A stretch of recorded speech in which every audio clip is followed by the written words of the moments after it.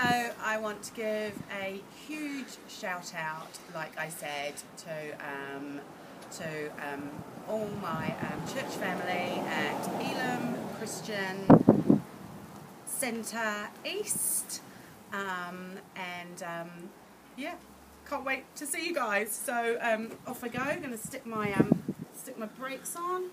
Getting pretty nifty in this machine. To stick my brakes on. Oh, the rain's let off, so I can take this off now. And I'm going to stand. Just going to wiggle my bum around. And here I am. Ready to rock, just with a little help from my husband, who now has to put my chair in the car. But, um, but yeah, um, bye for now. Um, God is good um, all the time, all the time. God is good. Bye.